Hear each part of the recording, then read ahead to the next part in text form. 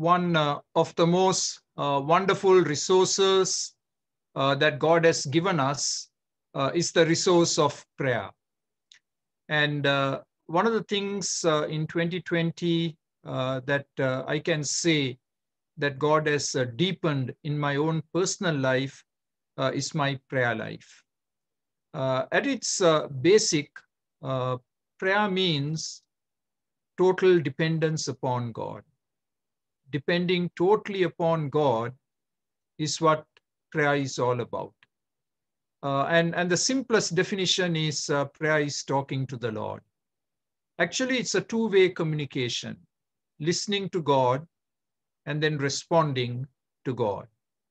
So, as we uh, begin a new year, uh, I want to uh, refresh your memories from the Bible on 10 prayers that you and I would do well to pray personally, as a family, and as a church. And all these uh, 10 prayers that we are going to look at uh, begin with the letter G. And uh, the notes are avail available for you on the chat. And if you uh, want it later, you can always uh, email us and we can send it to you. Uh, so let's begin. Number one, the first prayer that you and I need to pray, grace me. Lord, grace me. And the scripture I would like to use is uh, Titus 2, 11 to 13. And uh, it talks about the grace of God. And uh, praise God, it says that God's grace has appeared in the person of the Lord Jesus Christ and has provided salvation to all people. I like that word all. No one is excluded. And you're included in that word all. Uh, God's uh, touch of salvation is available to you and to me. Now, once we experience God's grace in salvation, the forgiveness of sins, uh, the gift of eternal life, a right relationship with God, because of what the Lord Jesus did for us at the cross, his death and resurrection. It secures our salvation. Now, it's the second part that is not stressed uh, too much uh, in Christian circles. So if this grace is operational in our life, what will it do? So it says, it teaches us, some translations say it trains us. So grace is a great teacher when you invoke the grace of God into your life, it teaches you. What does grace teach you?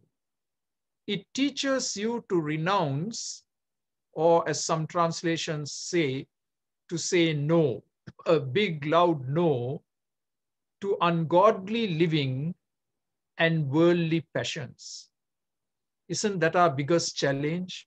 Ungodly living and worldly passions the grace of God teaches us day by day to say no to sin so that we might live sensible, honest, and godly lives. Again, I like the use of those three words sensible, honest, and godly lives in this present age. The grace of God teaches us to live a life of integrity no duplicity, no hypocrisy. What you see is what you get. No skeletons hidden in the closet. And this grace continues to teach us day by day as we eagerly await the return of the Lord Jesus Christ to take us home to himself. So in this new year, I want to encourage you as I encourage myself to pray and say, God, grace my life. God, may grace be a teacher and may grace enable me to say no to all the sinful tendencies that come up in my life so that I can embrace all that is holy and good and noble and righteous.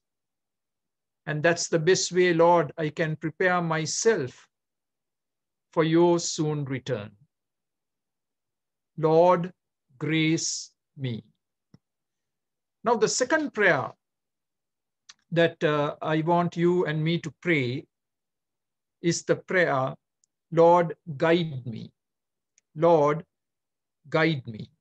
And there are two scriptures we are going to bring up on the screen for you. These are great scriptures on the subject of guidance. And uh, there are four words that we are going to underline, and you would do well to underline in your Bible.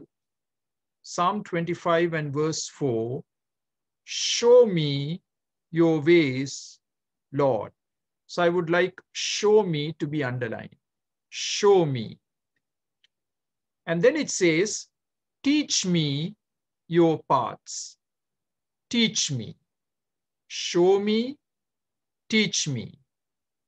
And then as we keep reading, it says, guide me or lead me. So underline lead me. Lead me in your truth and teach me. The second time in two verses, you have that uh, expression, teach me. For you are God, my Savior. Isn't that beautiful? That was what the first prayer was all about for God to be our Savior. And my hope is in you all day long. So, what is this prayer of guidance? It is asking God to show me, to teach me, to lead me in His ways, to guide me according to His plan for my life. Yes, we don't know what the new year holds for any one of us, but I'm sure deep down in our hearts, we all want to fit into God's plan for our life. We don't want to settle for plan B. We want plan A to be operational in our lives. And one of the ways that plan is set in motion in your life and my life is when we look to the Lord in prayer. And these are very simple prayers, nothing complicated. Show me, lead me, teach me how to walk in your path, O Lord. May I not get detoured. May I not get distracted. May I not go down rabbit trails. May I walk in the path of righteousness. Now, look at the next verse, Psalm 32, verse 8. Again, another great verse on uh, guidance. I will instruct you. So, underline the words instruct you. We are asking God to be our teacher and teach you. So, there again, teach you. Please underline teach you. That's the third time you have the word teach in the two verses that we have looked at. We take a very humble position. We don't know. We are ignorant. We are foolish. And we are asking God Himself to be our teacher, to be our instructor. And then it says, here is another phrase I want to underline. God says, I will counsel you. So underline counsel you. I will counsel you with my loving eye upon you. God is watchful over us. And uh, God knows that we are prone to wander. We are wayward sheep. And with his eye upon us, he is going to advise us and counsel us to walk on his path. Let me put all those words together for you again. Show me, teach me, lead me, instruct me, counsel me. Just take those scriptures and personalize it in prayer for your life and for the lives of your loved ones. Lord, grace me. Lord, guide me. Now we come to prayer number three. Lord, guard me. Lord, guard me. We live in a very dangerous world. COVID has taught us that in 2020. Dangerous world. And we need protection. So let's uh, look at uh, these verses. Psalm 32 and verse 7. We looked at verse 8 a moment ago. Now we are looking at verse 7. You are my hiding place. In times like these, we need a hiding place, a place that we can run into and be safe. And that hiding place is the person of God Himself. Run into the arms of God and be safe and secure. You will protect me, so please underline protect me. That's this prayer. You will protect me from what? Trouble. You're going to protect me from trouble. Name the trouble, whatever the trouble is. It could be an invisible virus. It could be visible dangers. Protect me from trouble and surround me with songs of deliverance. Deliverance. When we are asking God to guard us, we are asking God to deliver us from dangers seen and unseen. The Lord is our hiding place. And then we look at Psalm 91. How could we talk about protection and not make any reference to Psalm 91? So we are looking at verse 14, Psalm 91 and verse 14. Because he loves me, says the Lord, that's you and me. If we are in a love relationship with the Lord, I will rescue him. Isn't that beautiful? God will rescue us. God will deliver us. I will protect him. Explicitly, it's stated there that God takes the responsibility to protect us, for he acknowledges my name because you acknowledge the name of the Lord Jesus Christ, because you have pledged allegiance to the name of Christ, God takes responsibility for your protection. Psalm 91, verse 14. And then, of course, the Lord's Prayer, one singular statement uh, that is so powerful in the Lord's Prayer where we pray in Matthew 6:13, deliver us from the evil one. Don't lead us into a place where we will be tempted and cave into sin, but deliver us from the evil one. Now, that could be taken to mean two things. Deliver us from the evil one is a reference to Satan, right? God, please protect us, guard us from all satanic attack and traps, the wiles of the evil one. But it can also mean deliver us from evil, generally speaking. And there is so much of evil all around us, right? Moral evil, physical evil. And we are humbly praying, God, deliver us from the evil one, deliver us from all evil. The prayer for protection. I want to introduce you to St. Patrick's breastplate prayer of protection.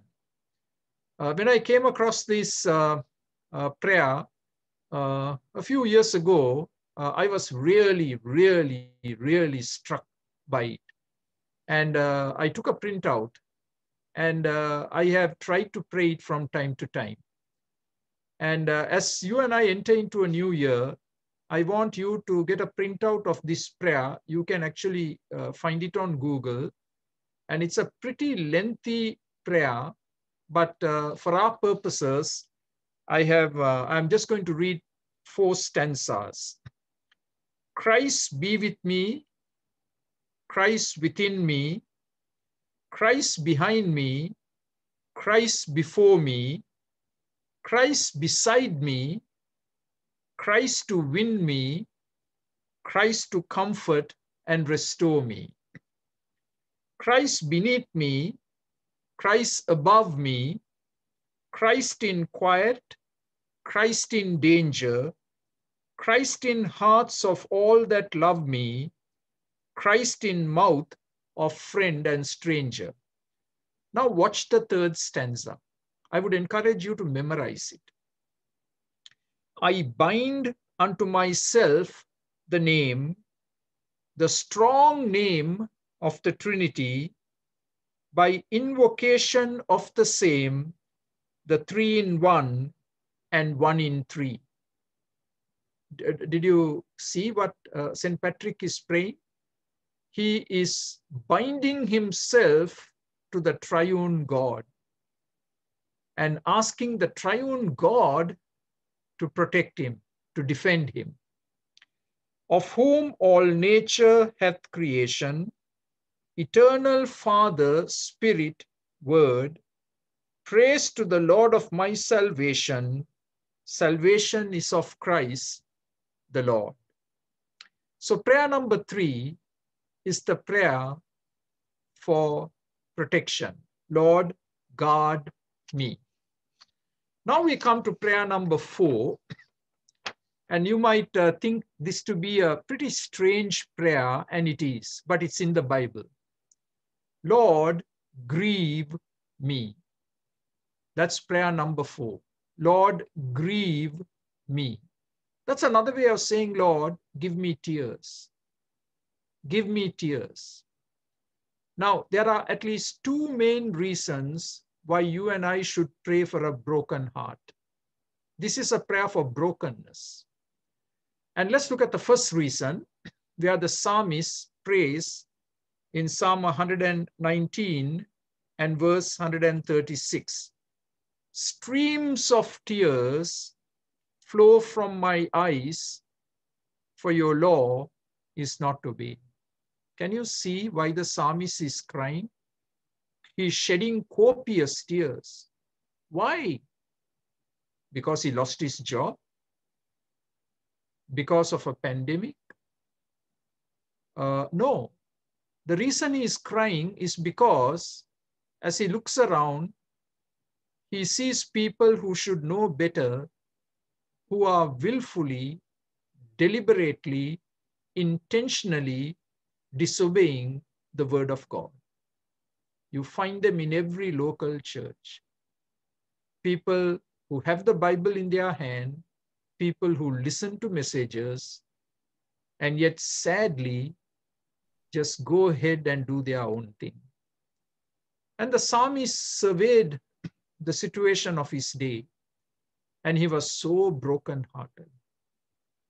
Nothing grieves a pastor more than when he sees his beloved sheep willfully disobeying the word of God.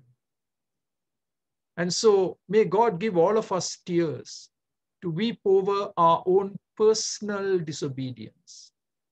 And then to weep over the disobedience that we see all around us among people who profess to be the children of God. Now, here is a second reason why you, you and I should have tears. And we look at this from Romans 9 and verse 2. And Romans 9 verse 2, Paul says, I have great sorrow and unceasing anguish in my heart. Paul was a broken-hearted man. He always had great sorrow in his heart.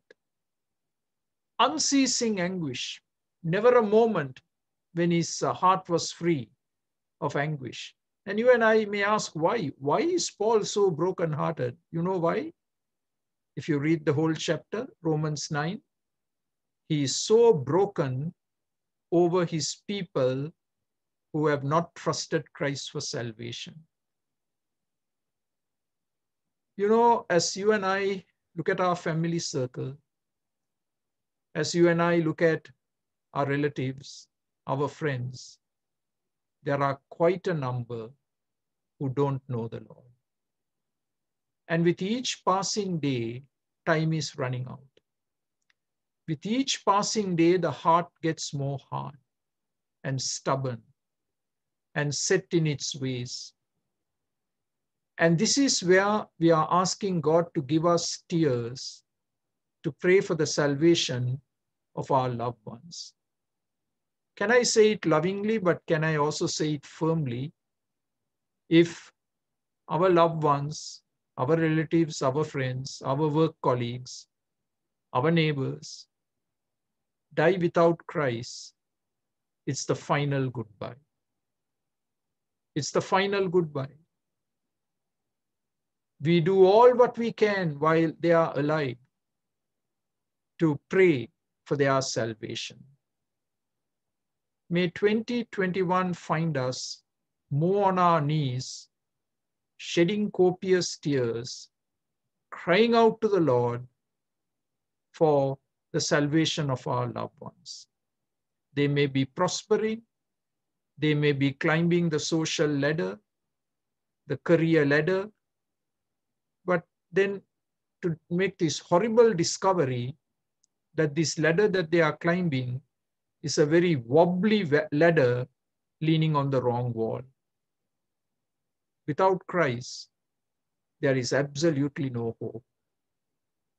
Without Christ, death is final. So, beloved, I want to encourage you to ask the Lord to grieve you, to pain you, that there'll be unceasing anguish in your heart for the for those who are lost, who are outside the fold. And they may be as close as a family member, a spouse, a child, a parent, a sibling. Cry your heart out for their salvation. To pray with tears is to make an eternal investment. To pray with tears is to sow your tears with eternal harvest. No tear shed in burdened intercession for others is ever forgotten by God, unrecorded, or in vain. Intercession watered with your tears is one of the most powerful forms of prayer known. As surely as God is in heaven, the Bible says, those who sow in tears will reap with songs of joy. He who goes out weeping, carrying seed to sow, will return with songs of joy, carrying sheaves with him. Psalm 126. Now that brings us to exactly the opposite, the fifth prayer that you and I need to pray Lord, gladden me. Lord, gladden me. Lord, make me a person of joy, supernatural joy. And so the passage that was read to us, Psalm 90 and verse 15. we, we, we love verse 12. Many sermons would be preached tonight and tomorrow and Sunday on Psalm 90 and verse 12. But look at verse 15 make us glad for as many days as you have afflicted us, for as many years as we have seen trouble. We have seen a plenty of trouble in 2020, some of us much more than others. And here we are praying that God will recompense us for the sorrow, for the tears, for the pain, for the heartache with his joy that the Lord will flood our hearts with his joy. Psalm 30 and verse 5, a verse that has become very precious to me. Weeping may tarry for the night, but joy comes in the morning. And I uh, said to myself, that night seems to be a very long night, very long night. Uh, for me, that night has now lasted over nine months that weeping has been for over nine months. Weeping may tarry for the night, but joy comes in the morning. And Psalm 16, verse 11, again, one of my favorite verses. In your presence is fullness of joy. At your right hand are pleasures forevermore. In the presence of God is fullness of joy. So, prayer number five is where we pray, Lord, gladden me. Fill my heart with joy, supernatural joy, the joy of the Lord. May that be our portion every single day in this coming new year. Our circumstances could still be very depressing and they could still be very negative, but God can plant His joy in our heart. Now, prayer number six is the most favorite prayer of the average Christian. This is what I call the grocery list prayer. So, prayer number six is give me. Most of our prayers are punctuated with this expression give me, give me, give me, give me. Now, nothing wrong with a grocery list, but only thing is don't make that as number one. You will find that if you pray the other prayers, your grocery list will become shorter and shorter. So Matthew 6:11 in the Lord's Prayer, I mean, how can we forget this? Give us this day our daily bread. Give us today our daily bread. And that's a very appropriate prayer. Lord, today, please provide me with the basic necessities of life. Daily bread. Bread is the most staple food in many cultures, even today. And without bread, you just can't survive physically. So here we are praying, God, give us the basic necessities of life, and that includes a job. And often in our prayer meetings, we pray for those without jobs, because without an income, how could you make ends meet? And the Lord wants us to work and earn a living to support ourselves, to support others, to support the work of God. So we can pray this prayer. Give us today, this next 24 hours, Lord, please supply our basic necessities. But uh, I want to uh, take it one step higher. And I love the way Solomon prayed when uh, he became king.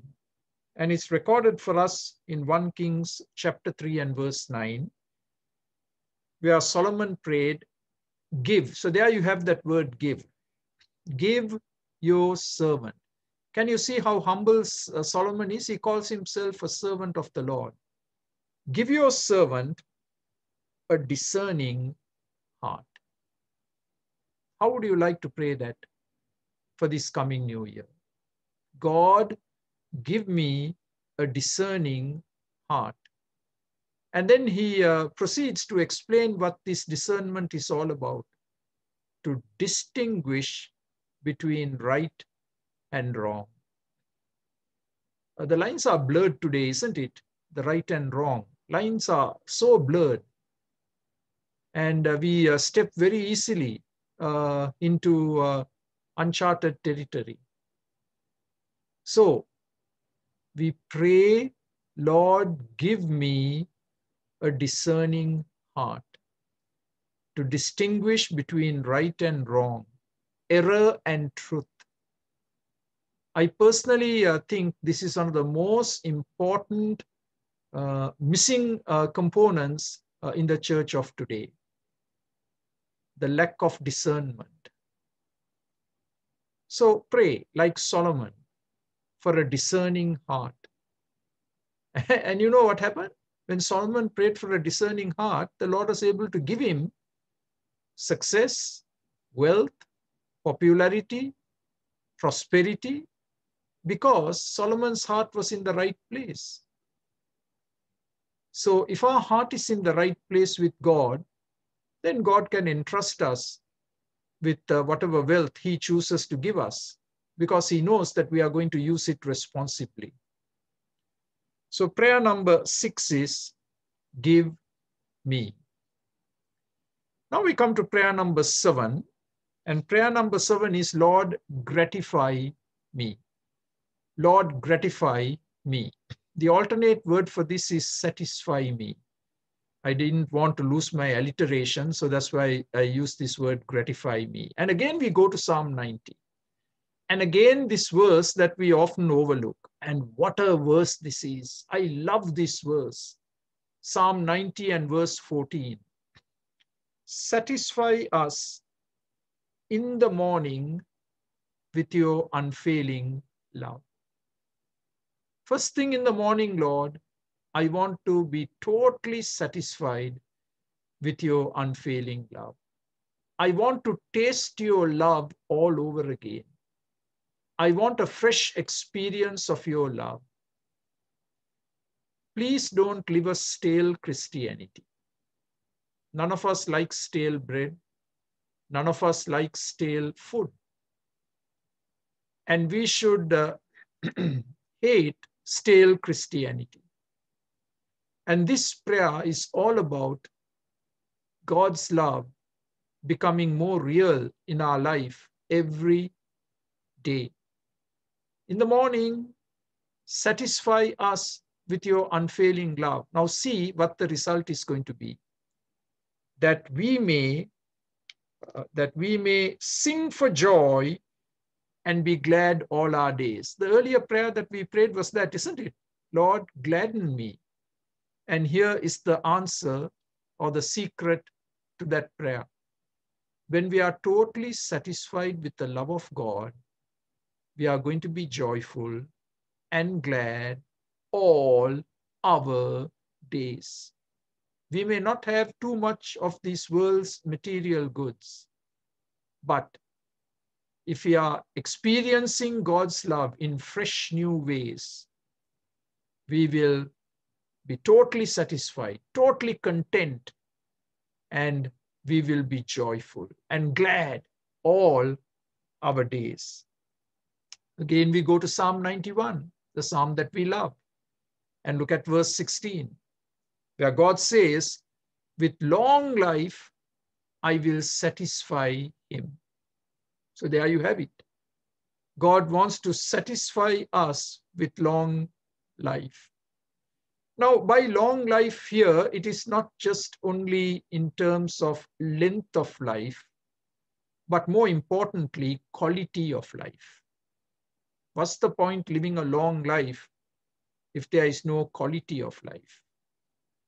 And we are praying, Lord, satisfy me with a high quality of life, your very life in my soul, your very life in my soul. Long life.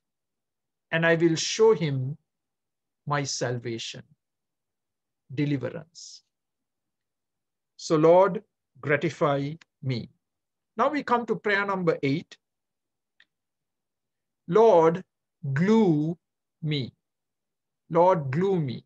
Uh, I wanted to use the word super glue me, but my alliteration will go. So uh, let's use Lord, glue me. Now there are two areas where we need to be glued.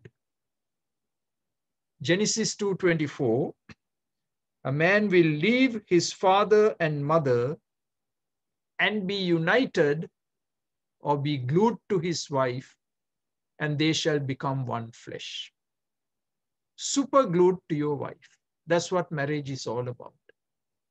And how sad when marriages end in divorce. That which was meant to be super glued has got unglued. And every time there is a divorce, no one wins. You take heavy duty. And so we pray, Lord, superglue our marriages you may be married for five years, 10 years, 20 years, but those marriages need to be constantly glued together. What a relevant prayer for the new year. Strong marriages, strong families. We are asking God to glue us. But not only within the biological family, look at Romans 12.10. Romans 12.10 says, be devoted, and within bracket, I would put be glued. Be glued to one another in love, honor one another above yourselves. Now, this is the family of God. In the family of God, we need to be glued to each other. Yes, there will be conflict. Yes, there will be disagreements, but there should be no separation, right? We should be glued to one another. Satan will do all what he can to divide us. Satan will do all what he can to rip us apart, to bring confusion. And we must not give him room to do so. So in our prayer meetings, very often there are those who pray for the unity of the church. And that's very important. Harmony in the church. And that happens when we are super glued to each other. Lord, glue me. Now we come to prayer number nine. And prayer number nine is, Lord, ground me. Today, because of the pandemic, we are grounded. uh, somebody asked me, uh, uh, can you go to this place and pick up this thing? I said, no, I can't. And they said, why? Because I said, I'm grounded. I don't have a vehicle. My vehicle is gone. Now, that's not the real meaning of uh, this ninth prayer. Ground me means to be grounded in the word of God. For our roots to go more deeply into the scriptures and into the God of the word. So, two verses, Colossians 3:16. Let the word of Christ dwell in you richly in all wisdom. That word dwell. The word dwell means to be at home, to be permanent. For the word of Christ, for the word of God to be settled deep down in our hearts for the word of God to have access to every part of our life. Okay, for the word of God not to be just a visitor, but to be a permanent guest, having access to every part of our human psyche. Teaching and admonishing one another in psalms and hymns and spiritual songs, singing with grace in your hearts to the Lord in other words, when you and I are grounded in the word of God, it's going to lead to a life of worship. All those uh, expressions, psalms, hymns, spiritual songs, singing, they are all part of our worship. You and I can't worship right if the word of God is not dwelling in our hearts. That's why we read the Bible. That's why we have a exposition of the scriptures that it will lead us to a life of worship. So actually, uh, prayer number nine, Lord, ground me, can also be subtitled, Lord, make me a worshiper, authentic worshiper. Worship God in spirit and in truth. And truth there refers to objective truth, the scriptures. And then uh, Psalm 119, verse 11 Your word have I hidden in my heart that I might not sin against you. Why should we be grounded in the word of God? Why should we meditate and memorize the scriptures so that we will not sin against God? And that takes us to our very first prayer Lord, grace me. Grace teaches us to say no to sin. And how do we learn to say no to sin? By being grounded in the scriptures. So, will you make a commitment in uh, 2021 to be a man, a woman of the word of God, to spend more time in the scriptures, to read through the Bible, to take more time for the word of God, to journal, to pray scripture. And uh, as Spurgeon rightly said, if uh, someone were to cut you somewhere, you should be bleeding Bible because the word is very active in your life. Lord, ground me. Now we come to the final prayer, and this is a very intriguing prayer. Lord, goad me. Now, some of you may not have heard this word before. Lord, goad me.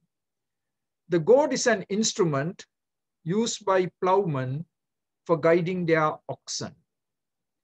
The goad is a formidable weapon.